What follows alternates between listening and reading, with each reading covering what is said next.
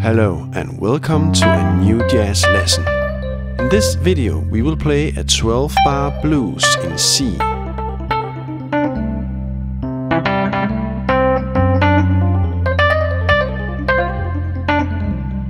And we will learn some very useful techniques to play a thrilling blues solo with the right hand.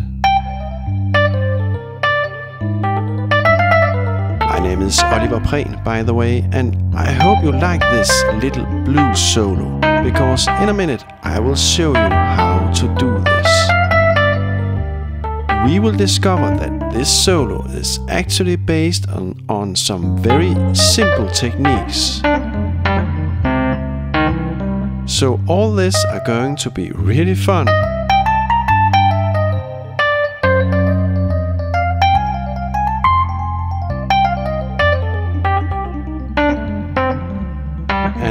Hopefully you will explore some new stuff you can add to your improvisation style when playing the blues.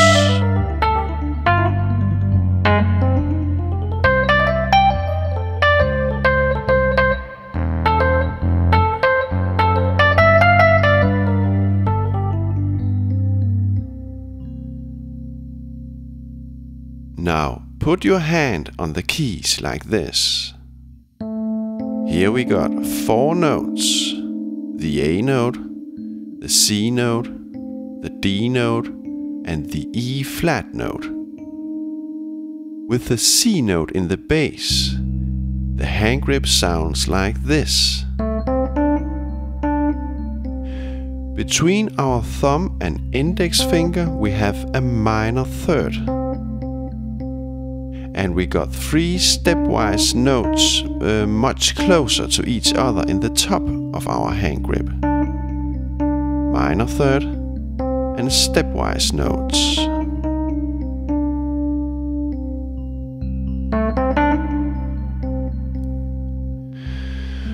Okay, now we move our thumb to the to the note a half step above the fourth finger the E note, like this. And we make the exact same hand grip. We got our minor third interval and our three stepwise notes in the top. Now let's play a little solo on the C7 chord, using the two positions of our hand grip we play the C7 chord in the left hand. Now with the right hand we will now play our hand grip. The hand grip has two positions. We can place our index finger on the C note and make the hand grip. And we can move our thumb up a half step from the fourth finger to the E note and play our hand grip from there.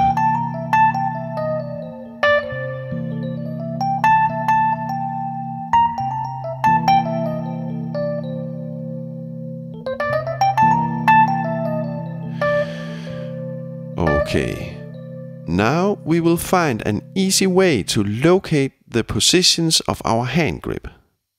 Look at your index finger. This finger should either be placed on the key note C, or we can place our index finger on the perfect fifth compared to the key note C, the G note. So, the positions for our index finger are either the keynote or the fifth, right? So these two positions are very easy to remember. When I improvise, I use the index finger as a kind of mental pointer. The keynote the fifth.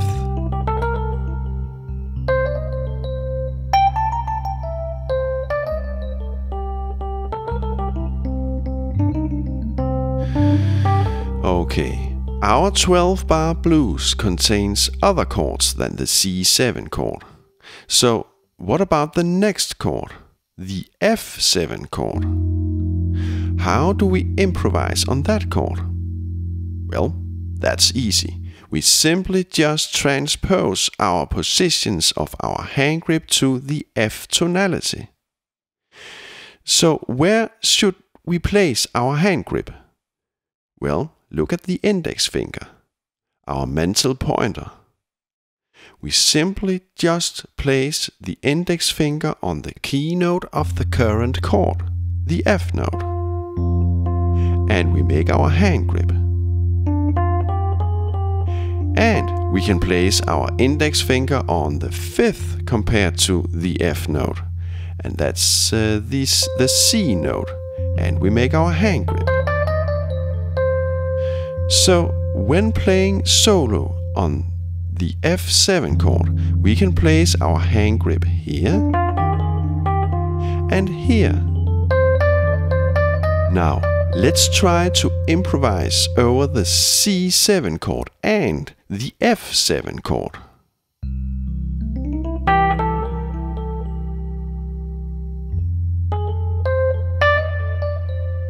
C7 F7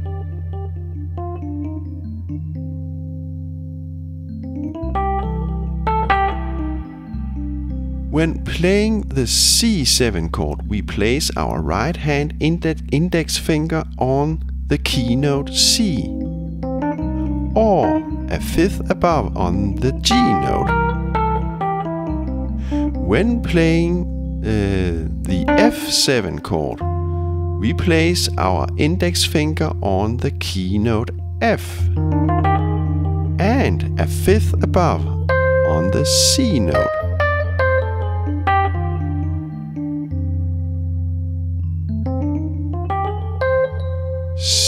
C7, F7.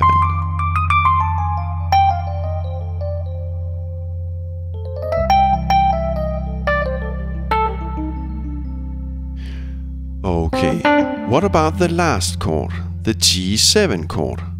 How do we improvise on that chord? Maybe you have figured it out.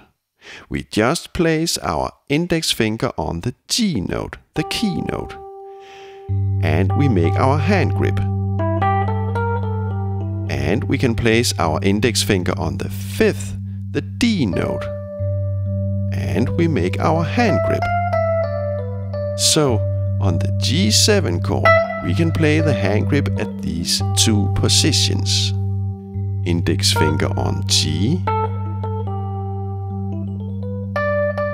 index finger on D.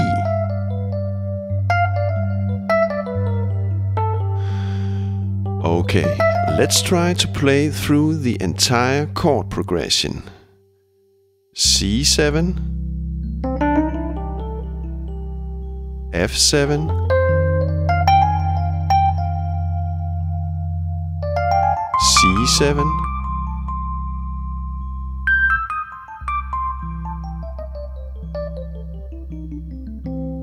F7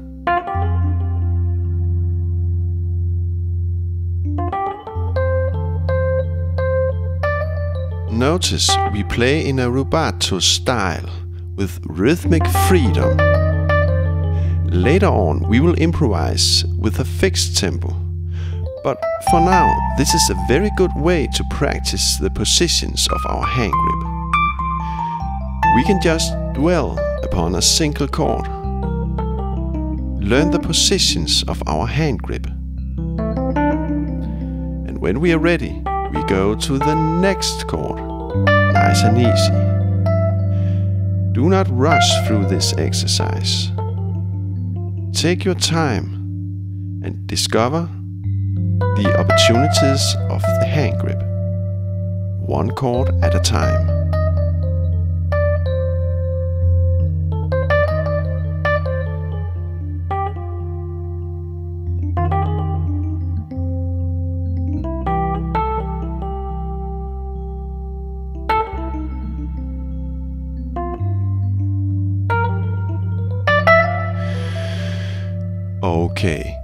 Let's try to play through the 12 bar chord progression in a fixed tempo. Mm, what about 69 beats per minute? In the left hand, I will play a simple walking bass by the way. I have written down the basic notes for that walking bass if you should be interested. I will paste a link in the description below. In another lesson I also explain the basic techniques of this walking bass. I will paste a link to that lesson as well. Okay, here we go.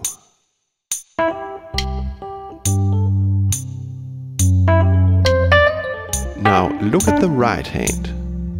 Notice with the hand grip technique we are forced to use the same piano fingering no matter where on the keys we are and what position we play.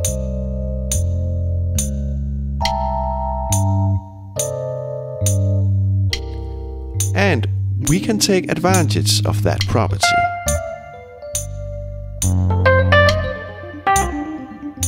Being familiar with the hand grip, we can easily repeat phrases and motifs at different places on the keys.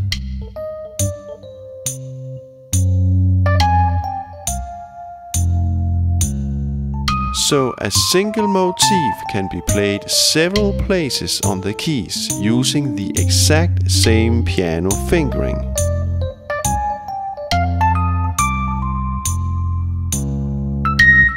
So we reuse a simple technique on the entire register.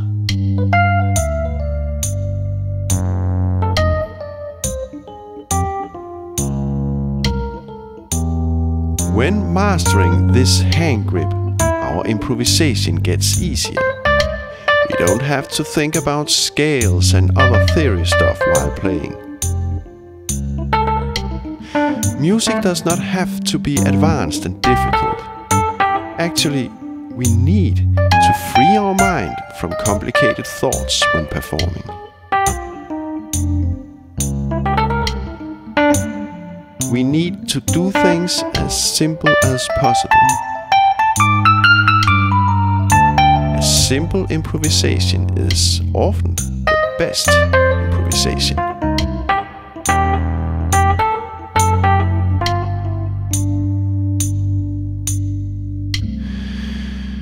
Okay, very soon we will talk some theory and make some reflections.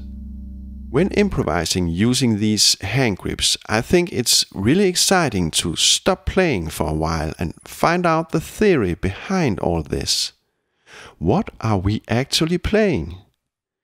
The next section will for sure be illuminating, so stay tuned. So, what scale are we playing when using our hand grip at the different positions? Well, having C as our keynote, we have these notes. And these notes, right? The A note we have twice, so we remove the lower A, the lower A note. Well, then we have this scale. In a previous lesson, we learned about the Mixolydian scale.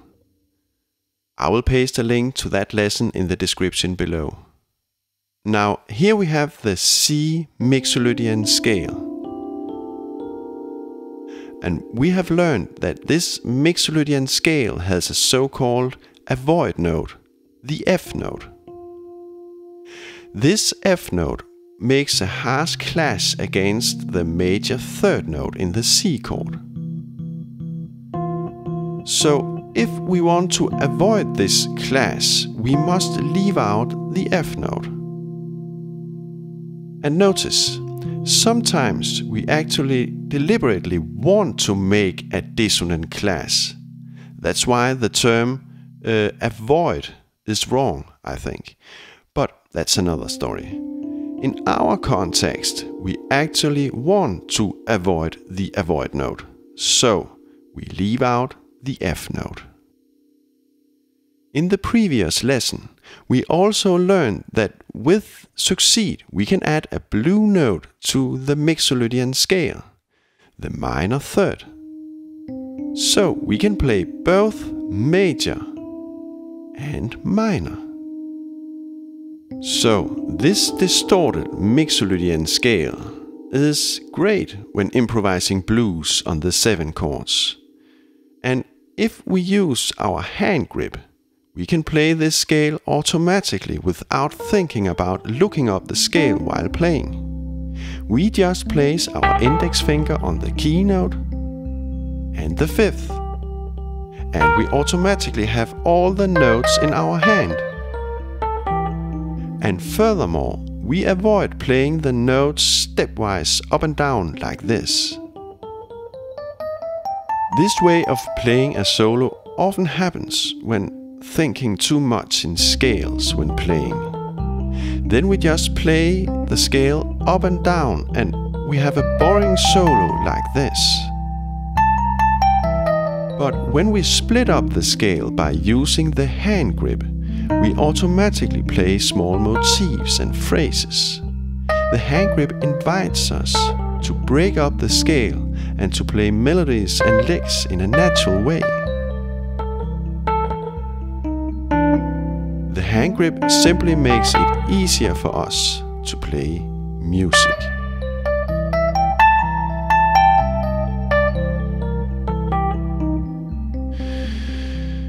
Okay, very soon we will expand and alter our hand grip slightly. These small changes can make our solo even more thrilling, so stay tuned. Here we have our hand grip with our index finger on the C note. Now let's add the pinky to the hand grip. From the fourth finger, the E flat note, we go up a major third interval to the G note and we got this five finger hand grip. Between the first two fingers we got the minor third interval and between the two last fingers we got the major third interval. And in the middle of our hand grip we got this stepwise movement. We can play our expanded hand grip at the same positions as before. So, on the C7 chord we can play our expanded hand grip with the index finger on the keynote, and we can play the hand grip with the index finger on the fifth note. Let's combine the two positions of the hand grip and play a little solo on the C7 chord. Well, this works great, don't you think? And let's do the other chords as well. So everything is as before. We simply just place our index finger on the key note or the fifth of the Q and chord. The only difference is that we now occasionally add the pinky to our hand grip. Right now we do the rubato exercise, by the way. So we play in a free rhythmic mode. In this way we can practice the hand grip without being stressed by a fixed speed. Later on we will turn on the metronome again.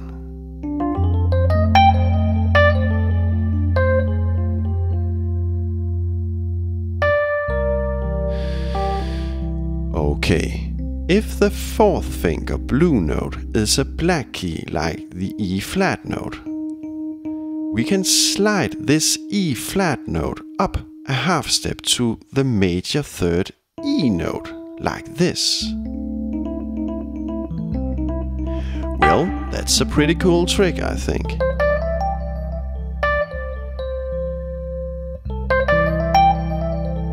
Keeping the C note in the bass, we can also do the trick when the index finger is on the G note. Then we slide the B flat note up to the B note. I think doing this when uh, the index finger is on the fifth, the G note, is a little more dared. In the right situations, it, it uh, also adds great color to our sound. Well, it's all up to us what we feel for. Now, let's start the metronome again. And we will try to include all the stuff we have learned in this lesson.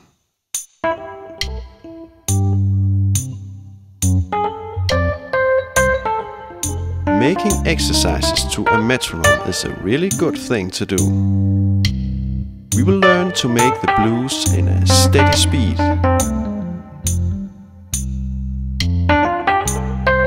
But if you're not ready for this, don't worry. Then you just have to make the rubato exercise some more to be familiar with the hand grip. You can also skip the walking bass for a while, but keep the metronome going.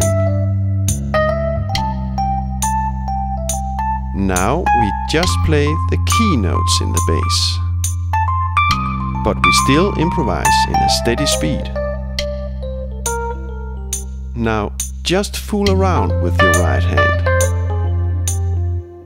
Discover and explore small motifs that you like.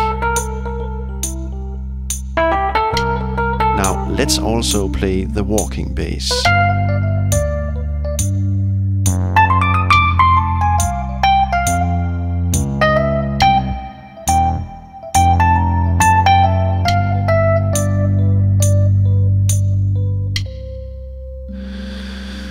Okay, now let me bring you many huge thanks for all the donations I have received lately. With these donations, it has actually been possible for me to cut down the hours at my regular daytime work. This means that I'm now able to use more time making music lessons.